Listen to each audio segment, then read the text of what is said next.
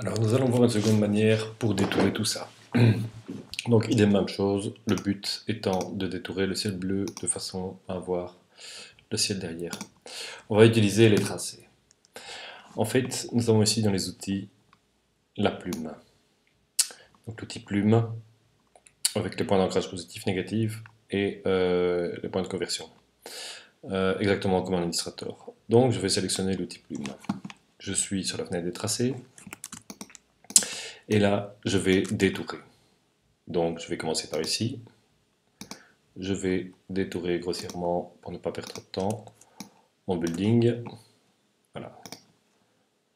Je clique avec la plume. Je mets des points d'ancrage.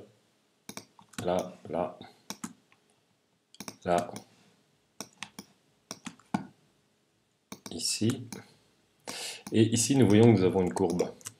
Donc, je prends mon point, je tire dessus, je crée une tangente, et je vais cliquer plus loin.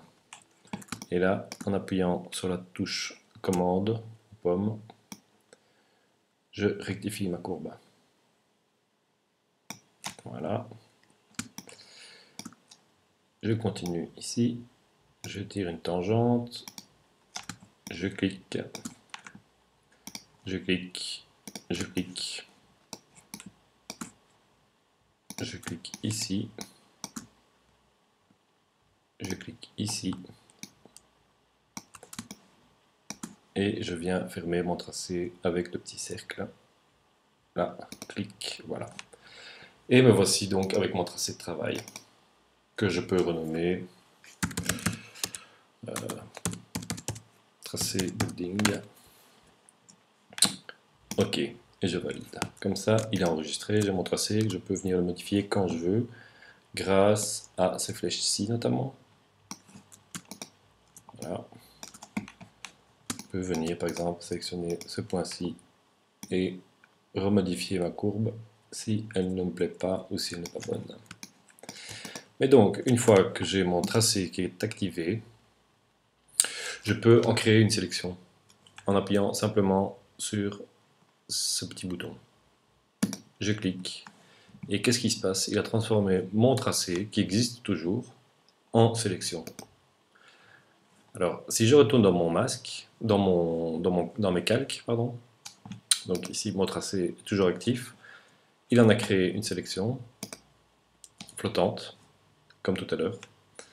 Et là, je vois donc, je suis sur mon calque 0, le calque que je veux effectivement détourer, et même opération que tout à l'heure, je clique là-dessus. Et là, il vient exactement comme tout à l'heure me créer un masque, une couche alpha, qu'on retrouve ici dans les couches d'ailleurs. Donc RBB, c'est le mode, rouge, vert, bleu, plus une couche alpha. Ça, on verra peut-être un peu plus tard les couches. Et donc voilà, j'ai exactement le même résultat que tout à l'heure. Mais cette fois-ci, j'ai donc utilisé le détourage avec les plumes. Ici, la plume. Et euh, tout mon tracé en plume est venu euh, se mettre dans la fenêtre des tracés. Que je le rappelle, je peux venir modifier si je veux rajouter notamment des détails. Donc voilà un peu deux manières de détourer, soit la plume, soit avec les outils ici, les rectangles, les lassos ou les, euh, la baguette magique. Voilà, voilà.